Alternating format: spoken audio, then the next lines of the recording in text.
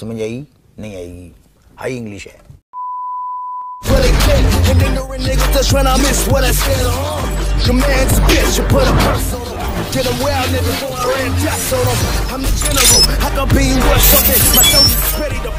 Venom movie अपने release के साथ ही एक इंस्टेंट हिट थी, और यही रीजन था कि उस मूवी के रिलीज़ के वक्त ही उसका सीक्वल भी अनाउंस कर दिया गया था। और अब हमें वेनम फिर से इन लाइव एक्शन देखने को मिलेगा। In the movie Venom let there be carnage पर इस कैरेक्टर की पॉपुलैरिटी के बावजूद एक लिमिट तक ही हमें सिम्बियोट्स बिग स्क्रीन पर देखने को मिले हैं।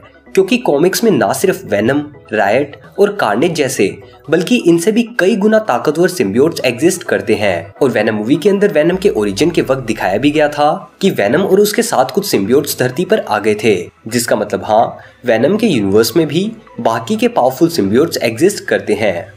तो हे गाइस कैसे आप लोग? मेरा नाम है दीपक और आज की इस वीडियो के अंदर मैं बात करने वाला हूँ टॉप 10 मोस्ट पावरफुल सिम्बियोट्स के बारे में, जहाँ ये वाली वीडियो टू पार्ट्स के अंदर आपको देखने को मिलेगी, जहाँ इस वीडियो के अंदर हम 10 टू 6 नंबर वाले सिम्बियोट्स के बारे में बात करेंगे, ताकि आप सभी सिम्बियोट्स के बारे में डिटेल के अंदर जान पाए।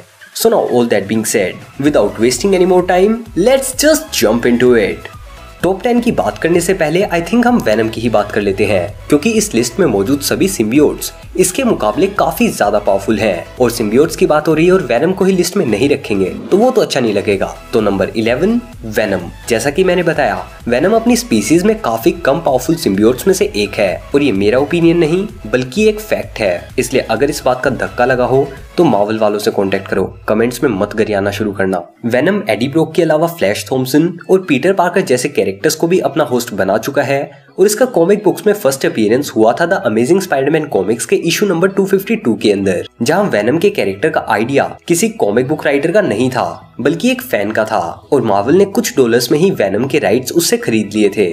और अपनी फ़र्स्ट अपीयरेंस के दौरान वेनम ने पीटर पार्कर को ही अपना होस्ट बनाया था। आगे चलकर स्पाइडरमैन की कॉमिक्स के अंदर ही वेनम के ओरिजिन को भी और अच्छे तरीके से एक्सप्लोर किया गया।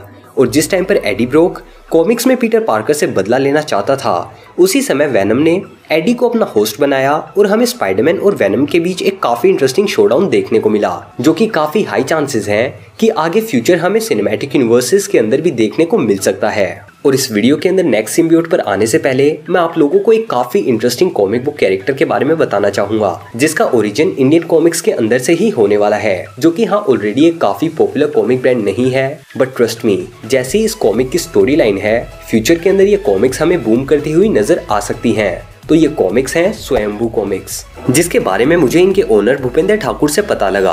And as soon as I came across their latest comic incognito Chrome के इनकोग्निटो मोड से प्रेरित होकर I thought let's give it a try और कॉमिक बुक क्रिएटर हूँ तो सोचा क्यों ना मोल भाव करके इनसे क्रिएटर कॉपी के तौर पर इनकोग्निटो की एक कॉपी मांग ली जाए।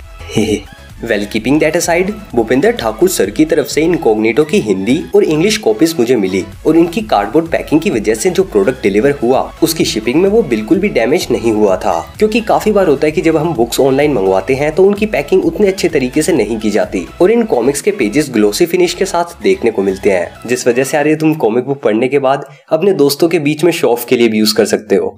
ग्लोसी बोले तो चिकने पन्ने।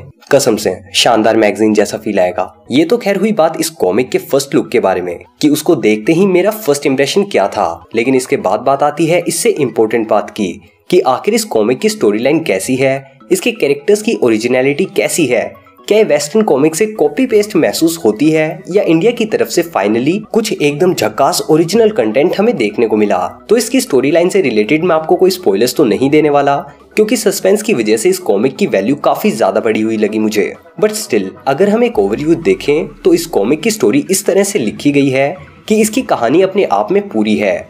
जहाँ इसके अंदर जो सवाल खड़े होते हैं, उनके जवाब एंडिंग तक आपको इस कॉमिक के अंदर ही मिल जाएँगे। लेकिन फिर भी कुछ ऐसी ट्रेल्स इसके अंदर छोड़ी गई, जिनकी मदद से फ्यूचर कॉमिक्स में भी इसे कंटिन्यू किया जा सकता है। जिसकी वजह से जब आप इसको पढ़कर कंप्लीट करेंगे तो आपके लिए ये स्टोरी कंप्लीट तो हो जाएगी बट अगर आप चाहें इस कॉमिक बुक यूनिवर्स से कनेक्टेड रहना तो आगे की कहानियों में भी इसकी लिंक्स आपको नज़र आ जाएँगी। और क्योंकि ये स्वयंभू कॉमिक्स की फ़र्स्ट पब्लिकेशन है तो इस वजह से ऐसा नहीं होगा कि आप किसी कैरेक्टर को पहले से नहीं जानते या फिर कोई स्टोरी लाइन आपकी बीच में छूटी हो। बल्कि आप इस यूनिवर्स का पार्ट बनने वाले शुरुआती कुछ लोगों में से एक होंगे। तो हाँ अपने पोते पोतियों को आप ये चीज़ बता पाओगे की स्वयंभू कॉमिक का जो फ़र्स्ट इशू आया था, वो आप लोगों ने पढ़ा था, और वो भी उसी टाइम पर। मतलब ये है कि आप एक लेजेंड का पार्ट बच सकते हो, जहाँ हाँ इस कॉमिक के अंदर कुछ सीन्स सही में इनकोग्निटो मोड वाले भी हैं, और इसी के साथ साथ डेडपुल जैसी आर रेटेड बैटल्स भी। ऑल एंड ऑल एक पब्लिशिंग हाउस की फ़र्स्ट कॉमिक के तौर पर इनकोग्निटो सच में एक काफ़ी सक्सेसफुल कॉमिक रहने वाली है, जिसकी पब्लिशिंग स्टोरी कैरेक्टर डेवलपमेंट और फैंस रिव्यू एकदम टॉप क्लास हैं। और साथ ही आपको हिंदी और इंग्लिश दोनों लैंग्वेजेस के अंदर देखने को मिल जाएगी। एंड मैंने दोनों बुक्स रीड की हैं, इसलिए मैं दोनों तरह की ऑडियंस के लिए कह सकता हूँ कि इन दोनों वर्जन के डायलॉग्स ही वेल रिटर्न है। तो आप किसी भी लैंग्वेज में इसको परचेज कर सकते हैं। इसकी बाइंग लिंक मैं नीचे डिस्क्रिप्शन के अंदर प्रोवाइड कर दूँगा। उस पर विज़िट करके आप इस कॉमिक को खरीद सकते हैं। और पढ़ने के बाद वापस इस वीडियो पर आकर बाकी नए व्यूअर्स के लिए इस कॉमिक का अपना रिव्यू आप कमेंट्स में मेरे साथ ज़रूर शेयर करना। और शायद मैं आपका कमेंट पिन भी कर दूँ, अगर वो बाकी व्यूअर्स के लिए हेल्पफुल रहे तो। वेल स्वयंभू कॉमिक्स के बाद back to topic number ten Riot Riot की हमें मूवीज़ के अंदर अपियरेंस देखने को मिली थी वैनम वन मूवी के अंदर, जहाँ पर वैनम के अगेंस्ट एंटागोनिस्ट के तौर पर ही हमें राइट देखने को मिला था। और उस मूवी के थ्रू भी ये चीज़ काफ़ी ज़्यादा क्लियर थी कि राइट वैनम के मुकाबले बहुत ज़्यादा पावरफुल था, जहाँ मूवीज़ में राइट उन कुछ सिम्बियोट्स में से एक था, जो कि अर्थ के ऊपर आए थे। लेकिन कॉमिक्स के अंदर राइट का ओरिजिन काफ़ी ज़्यादा डिफरेंट है, जहाँ पर कॉमिक्स के अंदर राइट को लाइफ फाउंडेशन ने क्रिएट किया था वैनम की मदद से। इस वजह से राइट वैनम के पाँच बच्चों में से एक है। और राइट की काफ़ी सारी पावर्स में से एक पावर ये है कि वो अपनी बॉडी से काफ़ी पावरफुल वेपन्स फॉर्म कर सकता है, जैसे कि ब्लेड्स या फिर स्वर्ड्स और ये one of the major reason है जिसकी वजह से वो वेनम से ज़्यादा पावरफुल है। और अभी तक भी कॉमिक्स के अंदर राइट की फुल पावर्स का पोटेंशियल हमें देखने को नहीं मिला है। नंबर नाइन मेनिया इसकी फ़र्स्ट अपीयरेंस हमें देखने को मिली थी वैनम की कॉमिक्स के वॉल्यूम वन के इशू नंबर वन के अंदर।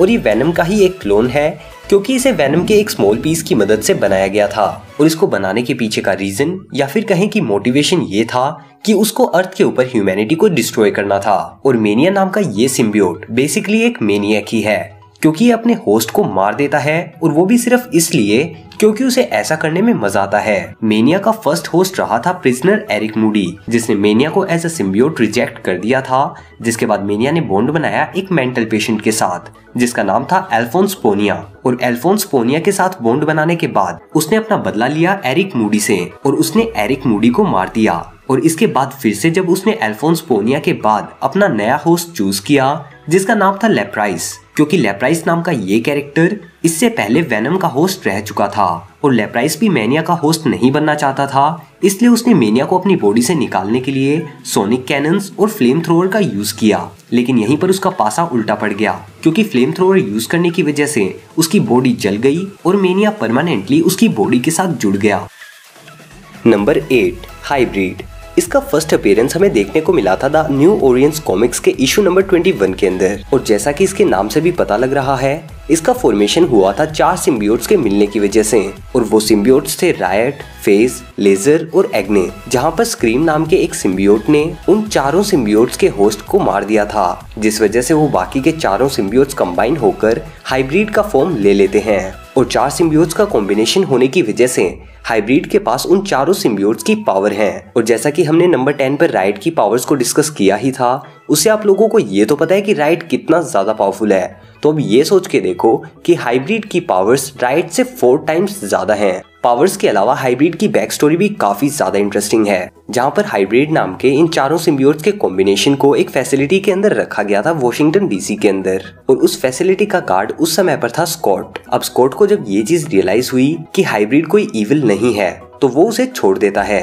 और उसके छोड़ने की वजह से उसे उस फैसिलिटी से नौकरी से निकाल दिया जाता है और नौकरी छूटने की वजह से स्कॉट ब्रुकलिन निकल जाता है, जहाँ पर वो एक बास्केटबॉल टीम का पार्ट बनता है, जिसका नाम था इजी एक्स इसके बाद वहाँ पर हुई एक लड़ाई के अंदर स्कॉट के भाई की जान चली जाती है और स्कॉट अपना एक पैर गवा देता है। लेकिन इसी के बाद हाइब्रिड स्कॉट को अपना होस्ट बना लेता है, जिसकी वजह से स्कॉट वापस चलने लगता है। लेकिन एक सिम्बियोट का होस्ट बनने के अगर प्रोन्स हैं तो कॉन्स भी हैं। और इस सिम्बियोट का पार्ट बनने की वजह से स्कॉट की परेशानियाँ ऑब्वियसली बढ़ी भी, जिसकी वजह से उसका एंगर इशू काफ़ी ज़्यादा इंक्रीज हो गए थे, क्योंकि उसके माइंड के अंदर अब चार सिम्बियोट्स की आवाज़ें सुनाई दे रही थी। और हमने वैनम मूवी के अंदर देखा ही था कि कैसे सिर्फ़ एक वैनम की आवाज़ सुन सुन कर ही एडी ब्रोक कितना ज़्यादा पगला गया था। तो अब सोच के देखो, एक नहीं, बल्कि चार आवाज़ें स्कोट के दिमाग में गूंज रही थी। खैर हाइब्रिड की मदद से मिली पावर्स का यूज़ करके ही स्कोट अपने भाई की डेथ का बदला ले पाता है। और अगर बात करें हाइब्रिड की पावर्स के बारे में तो उसके पास चारों सिम्बियोट्स की पावर्स अवेलेबल हैं, जिनके अंदर वो स्पाइडरमैन की तरह वेब शूटिंग भी कर सकता है मटेरियल्स को एब्जॉर्ब भी कर सकता है और इसी के साथ साथ शेप शिफ्टिंग भी कर सकता है। नंबर सेवन कार्नेज तो कार्नेज हमें कॉमिक्स के अंदर स्पाइडी और वेनम दोनों के विलन के तौर पर नज़र आता है। और कार्नेज को कॉमिक्स के अंदर वैनम के बच्चे के तौर पर ही दिखाया गया है, जो कि वैनम के स्पोन से क्रिएट हुआ था, जहाँ पर वैनम का एक छोटा सा टुकड़ा क्लिटस कैसेडी की चोट के अंदर घुस जाता है, जिसकी वजह से फॉर्मेशन होता है कार्नेज का। और क्लिटस कैसेडी जो कि कार्नेज का होस्ट है वो बचपन से ही एक साइको किलर था, जिसने बचपन से ही ना जाने कितने मर्डर्स किए हैं। और जैसा कि हमें सिम्बियोट्स के बारे में बताया जाता है कि सिम्बियोट की पर्सनैलिटी काफ़ी हद तक उसके होस्ट के ऊपर भी डिपेंड करती है। तो यही रीजन है कि क्लीटस कैसिडी की वजह से कार्नेज भी एक साइको किलर है। और कार्नेज की मेजर पावर तो है उसके टेंटिकल्स लेकिन इसके साथ साथ वो शेप शिफ्टिंग भी कर सकता है और उसका हीलिंग फैक्टर भी काफ़ी ज़्यादा पावरफुल है। इसके अलावा जहाँ तक मुझे पता है वेनम टू लेट देर भी कार्नेज मूवी के अंदर कार्नेज के ओरिजिन को थोड़ा सा चेंज भी किया जाने वाला है। और इसके साथ साथ ही इसकी पावर्स का क्या एक्सटेंट हमें मूवीज़ के अंदर देखने को मिलता है, ये चीज़ तो हमें वेनम टू आने के बाद ही पता चलेगी। नंबर सिक्स स्कॉर्न जिसे काफ़ी सारे फैंस मैकेनिकल सिम्बियोट या फिर सिम्बियोट्स का आयरन मैन भी कहते हैं। और इसके पीछे का रीजन आपको वीडियो के अंदर आगे पता चल ही जाएगा। तो स्कोन का फ़र्स्ट अपियरेंस हमें देखने को मिला था कार्नेज के इशू नंबर फोर के अंदर, जहाँ पर स्कोन को क्रिएट किया गया था कार्नेज के स्पोन की मदद से। बेसिकली इस सिम्बियोट को आप वेनम का पोता मान सकते हो, जो कि मिक्सचर था सिम्बियोट और टेक्नोलॉजी का। और इसकी पावर्स बाकी सभी सिम्बियोट्स की जैसी तो है ही, लेकिन इसी के साथ साथ ये स्पाइडी सेंसेस से इम्यून है, यानी कि स्पाइडरमैन इसके अटैक्स को सेंस नहीं कर सकता।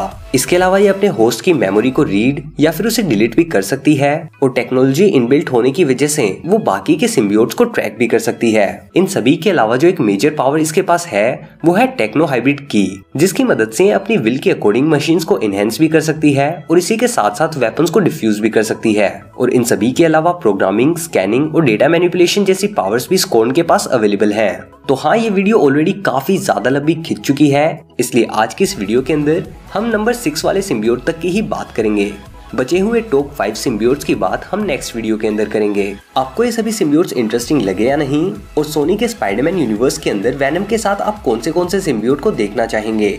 Let me know in the comment section below और इसके अलावा मैं आपको फिर से याद दिला दूँ इनकोग्निटो के बारे में, जिसकी स्टोरी हाँ सच में काफ़ी इंटरेस्टिंग है और आपको एक बार उसे ज़रूर ट्राई करना चाहिए। इसको परचेज करने की लिंक नीचे डिस्क्रिप्शन के अंदर दी हुई है तो जल्दी से जल्दी अपनी कॉपी भी मंगवा लो।